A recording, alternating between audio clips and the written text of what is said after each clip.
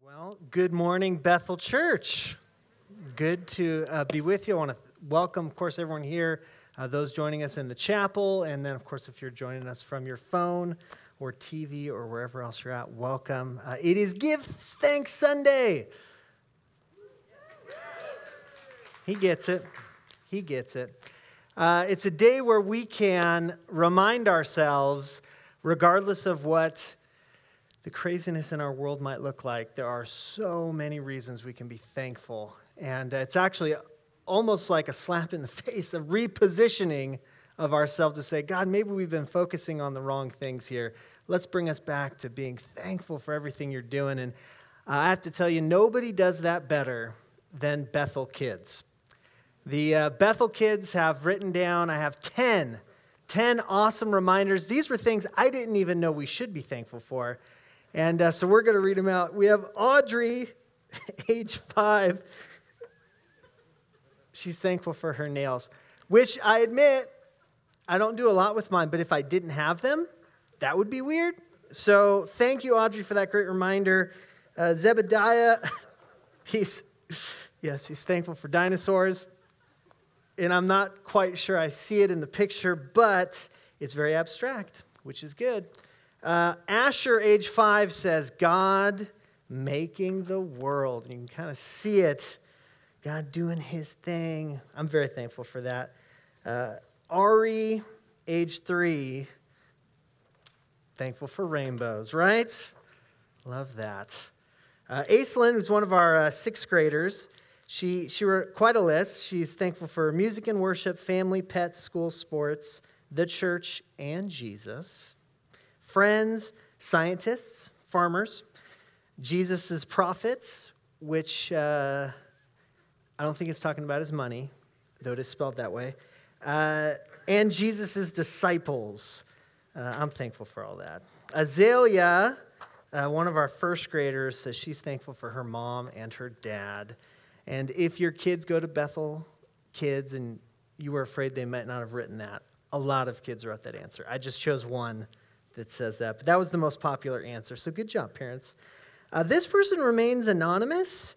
They wrote food and water and Christmas, and then there's Jesus, my home, food, and Christmas again. But if you look closely, you will see the lamp from a Christmas story, the leg and all they thought they'd sneak that one by. And then Maverick, age three, he doesn't even know what he's thankful for, but it's a lot. There is all sorts of great stuff going there. Ashton, Pickerel, age 12, uh, he almost writes a poem here. He says, A roof over my head, a toasty bed. I'd really dread to lose these things. I'm thankful for smoothies, movies, friends, and family. All these things are given to me. I'd be bored if it weren't for the Lord. and then Hunter, keeping it real, is thankful for space rocks. Age four. So there's so much we could be thankful for. I appreciate our kids. Let's give a round of applause, helping us remember there, there is a lot. And I'm the children's pastor here at Bethel and just uh, love my job. I love working with the, the youth and kids of our church, and it's been a difficult year for our kids. Uh, they've had a lot thrown at them. Um, this very well may be the most flexible and resilient generation in history 50 years from now. Um, everything that these kids have had thrown at them, the thing you don't hear when you're hanging out with kids is complaints. They're just taking it and, and doing so well. And so I'm just so thankful for our kids, but I have to confess, our, we don't do so well as adults. because a lot of the things I hear from adults are complaints. Uh, maybe you've said these phrases this year is a bust, 2020 sucks. I can't wait until this year is over. Is 2020 cursed? I don't know if I believe in that, but after this year, I might. I don't know. Uh, this year has been very challenging. We think about COVID 19 pandemic, protests and unrest, uh, the fires here locally and all over the West Coast, um, the election, ooh, right? All, all of this that has been just thrown right at us, right? And we've had to deal with it. It's very easy for me to make thankfulness the last thing on my mind. Uh, it's so easy for me to latch on to reading an article about what's coming up next or reading something about this and centering and focusing on the negative and the difficulties in life instead of taking that repositioning and staying centered on God and focused on Him. Today, there are two truths that I want to bring out and one secret mission, which we're going to get to at the end. Uh, the first truth is for many people all over our world, this year has sucked.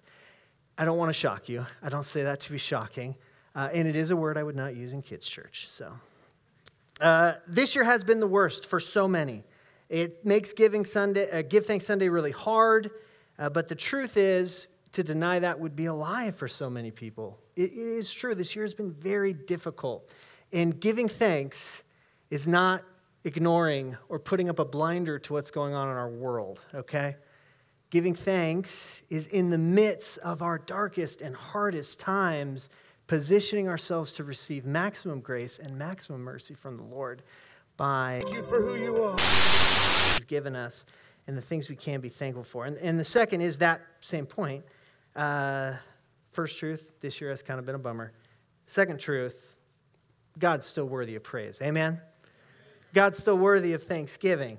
And I know it seems like things are bad and maybe the worst ever, but kind of since the beginning, God's people have had trouble in this world. And if you've read much of the Bible, you'll see countless stories of extremely challenging times that God's people have been through and yet have been able to remain thankful and praising God for his goodness. Um, there were so many examples I could have chosen today, but the one that uh, centered on for me was David. Now, many of you may know of David, some of you may not. Um, you're thinking back, maybe you've heard the story of David and Goliath, this little guy who throws a stone and kills this giant and then cuts his head off and holds it up. No amens for that. We get a lot of amens for that in kids' church. So, again, let's learn from our kids. Um, but after, you know, that crazy story, David is supposed to become the next king of Israel. There's a big problem, though. Saul is already the king, and Saul decides he's going to try to kill David. And so David is forced to flee. And I want to read from Psalms 56. You can turn there or uh, flip there on your phone. Uh, but to give you the backdrop of this psalm, David writes this having fled from Saul and then basically ends up in the town of Gath, which happens to be the hometown of Goliath. Not a great place for David to be. In fact, the Bible says this is from uh, 1 Samuel 21 that David was so scared of the king of Gath that he actually pretends to be insane and like mutters stuff and makes marks on the gates and just lets all of his drool go down his beard, which is wild, uh, but it's in the Bible. And so uh, David is in this very tough spot. There is no place for him. What he doesn't know, but is the truth, scholars, it's kind of hard to get the exact timing because the Bible doesn't list a lot of dates in this story, but D- David's starting a seven year journey where he is going to be living in caves, running for his life every single day. This is the backdrop to which he wrote many of his Psalms. And one of them, and we're going to start at uh, verse 8. It says this I'm going to read the whole thing, then I'm going to come back and make a couple comments. Record my misery, list my tears on your scroll. Are they not in your record? Then my enemies will turn back when I call for help. By this I will know that God is, God is for me.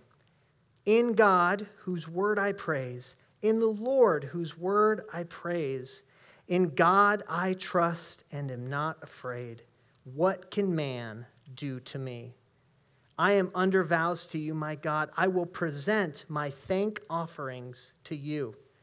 For you have delivered me from death and my feet from stumbling, that I may walk before God in the light of life.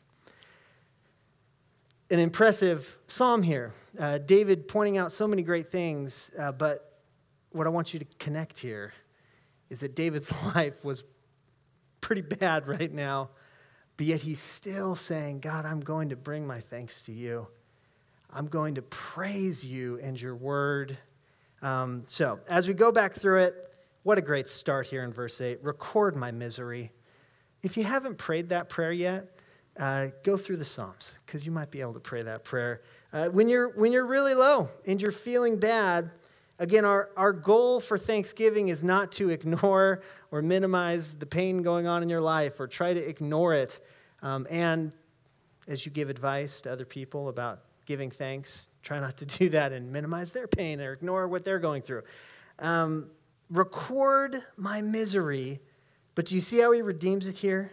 List my tears on your scroll. Are they not in your record? All of this is happening. And you, and you have to imagine, as I picture David at least, he's journeying from cave to cave, trying to find a way to stay alive for another week or day, and he's sobbing, crying in front of his men, just crying. In that moment, he repositions himself to say, you know what? Every one of these tears is being recorded, God. And I know that you are with me and that you are going to pay back all that has been hurt, all the pain for your glory, Lord. And he gets and he writes it in there, you know, saying, Are these not in your record? Then my enemies will turn back. When I call for help, it's like when my kids are fighting and somebody goes too far, and then there's tears and then they invoke, Dad! You know that the kid who caused the tears is running. Uh, it's this moment of like, then my enemies will turn back when I call for help. By this I know that God is for me. You know, saying this, even though he's pursued and his enemies are not turning back, he's saying, I know you're going to save me, God. Thanking God for things that haven't even happened in his life yet. That is putting yourself in the place to receive maximum grace and mercy from the Lord. He's thanking God for the things that haven't even happened yet. And then I kind of love this verse because he has to say it twice as I'm reading it, almost like as like eh, my life really sucks. So I'm going to say this twice to remind myself in God, whose word I praise, in the Lord, whose word I praise, in God I trust and I am not afraid. What? Can man do to me? One takeaway you might take from today is simply that. A lot of the anxiety and the fear that we experience, we could, we could put under the cross with that one phrase What can men do to me?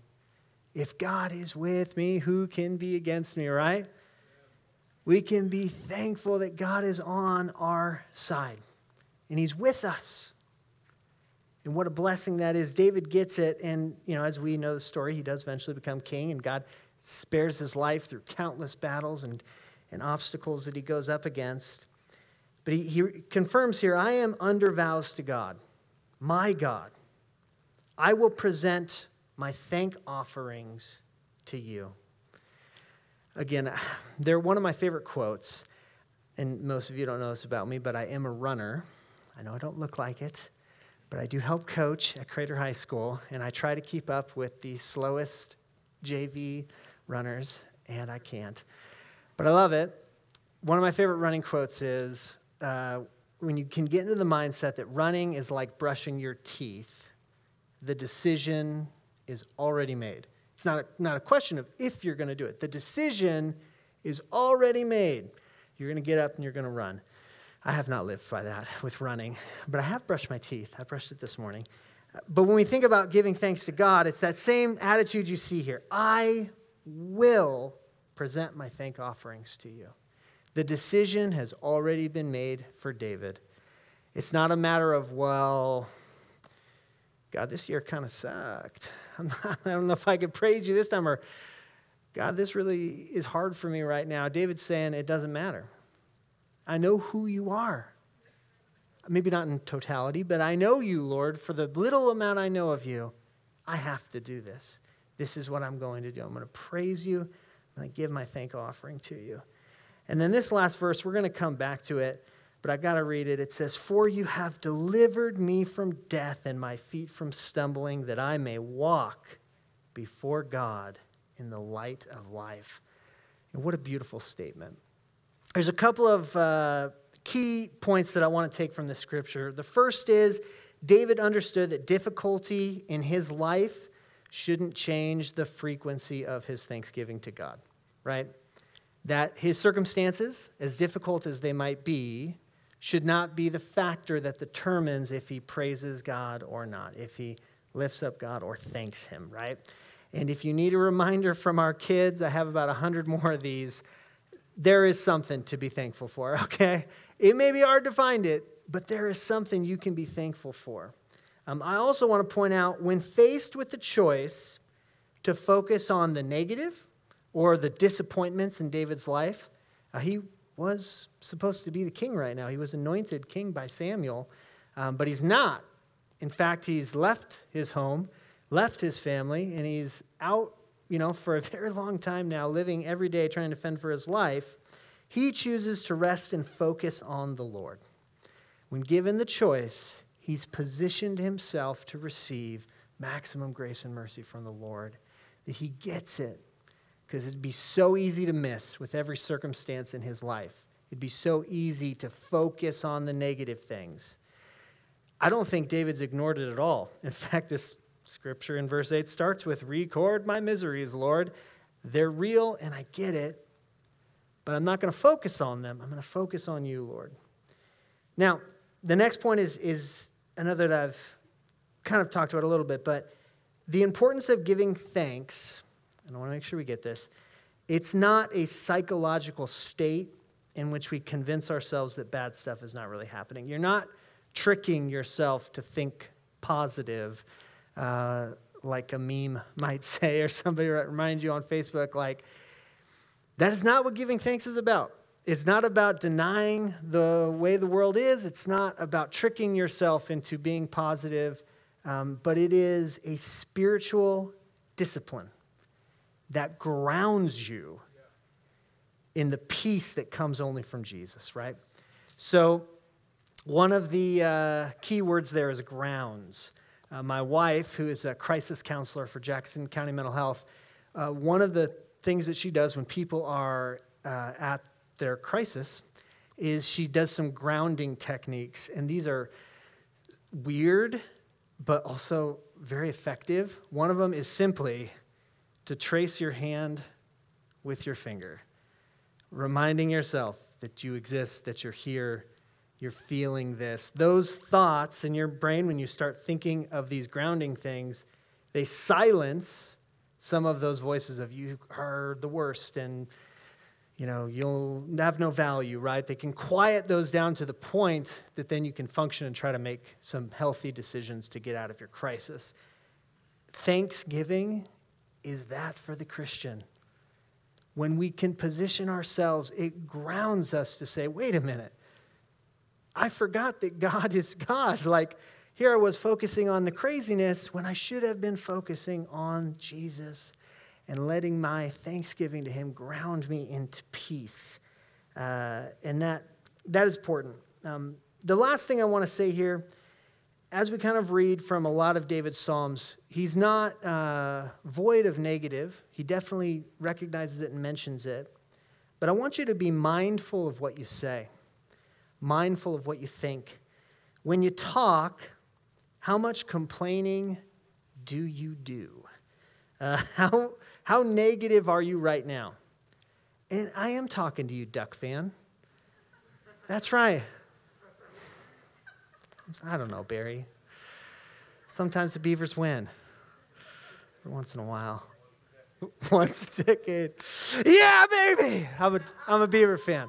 Um, it doesn't happen often. We might lose every game for the rest of the season, but it doesn't matter at this point. Uh, go Beavs. But truthfully, the words you say have a great impact? Or, or should I say, the words you post have a great impact? Are you speaking life? I cannot read this psalm and not see David just screaming life at us. For you have delivered me from death and my feet from stumbling, that I may walk before God in the light of life. Speak life to your coworkers, speak life to your friends and family. Please, if you get nothing else, get this speak life to yourself and the things that you say in your own mind about yourself. You have value. You're important. You are literally God's beloved. He loves you. He went to the cross for you. Um, stop beating yourself up. Receive that. Position yourself to be thankful to God. Now, I know this year's been difficult, but don't center your life around the craziness of the world. Center your life around Jesus. Allow Him to be the central focus, uh, not to ignore what's happening, but to bring your thoughts anchored and back to how much God loves you, how much God loves this world, and all of the great things that He's doing. When I feel far from Jesus, I know it's not because He's left me. Thanksgiving is one of the ways I get back to Him. It positions me to receive from the Lord again. When I'm saying, God, I'm thankful you died on the cross for my sins, right? Thankful for my family. God, I'm thankful for the shoes that you've given me on my feet. God, I'm thankful for my breath right now as I breathe. And then to go through the list to position yourself in that way. So, two truths. This year has been a, kind of a bummer. Uh, and that is true. First, for most, not for everybody. Also, equally true, in fact, way more true. Uh, it doesn't mean we should stop praising and thanking the Lord, right? Our circumstances shouldn't dictate how we, how we praise Jesus. We can raise, even in the greatest storm, we can raise our hands to the Lord and love Him. Uh, I want to invite the worship team to come back up, and I want to talk about my secret mission for you. There's one other piece. Uh, that secret mission is simply this I want you to be ready for Christmas. Be ready for Christmas. Now, 2020 has given us plenty to think about and obsess about, but, and I'm not a prof, I'm not making a prophecy, all right? Kayla, this is not a prophetic word. But what I am saying is, I kind of think there's going to be more bad stuff. Like, it just seems that's the way it's been, right? It, there's going to be even more for us to be crazy about. And maybe it's very personal for you, something in your family. Uh, there will be plenty of reasons to think about the craziness in our world. What are you going to post about? What are you going to be reading? What articles are you going to be drawn to? Are you going to be drawn to the craziness or are you going to be drawn to Jesus? Where's your focus going to be, right? Where's your mind going to be at? One, one of my favorite movies, it's never Grinch Stole Christmas. If you haven't seen it, it's great. Uh, the Grinch tries to steal Christmas from Whoville, and despite everything he does, all the attempts, the best plan he can make, he can't stop Christmas from coming, right? It's because the people of Whoville knew it wasn't the amount of decorations or toys or whatever they had. They had each other. And they were going to worship the Lord, right? And that was what Christmas was all about. Now, I'm going to get extended here a little bit. We may have some Grinches in our own life. Uh, maybe for you, that's COVID 19, or the presidential election, or Governor Brown, or your family. There might be plenty of things trying to suck the joy out of Christmas this year for you. But in the end, the Grinch had zero power to do that. It was the Who's who had the power. If anyone is going to ruin Christmas this year, it's going to be you. And I don't say that to beat you up. I say that to say, prepare yourself. Be ready. We don't know what the rest of the year is going to have, but I do know I have a Savior worth worshiping and being thankful for. It's our secret mission this year to be thankful to God no matter what circumstance we find ourselves in. Today is a special day. It's the beginning of Advent. Advent is one of our most uh, ancient traditions in the church. It started around the fifth century, and it's basically a four week anticipation of the coming of Christ. Today, in this whole week, we focus on the hope that Jesus brings. I don't know how David knew it, and it was, I think, very literal for him, but these words ring so much differently for me when I read them. For you have delivered me from death, my feet from stumbling, that I may walk before God in the light of life. That's what Jesus did. He came to bring light in the darkest situation. Even though it had been 400 years since we have any recording of God speaking through a prophet, even though the people were being oppressed by Rome, this place where Jesus was born, even though the nation of Israel was fracturing into the Pharisees and the Sadducees and the Zealots and all these different groups, even though there was governmental control and they tried to make a census and force everybody to go to a place to celebrate the holidays, right? Even though Jesus and his family were probably very poor because there was a huge gap in between the very rich and the very poor.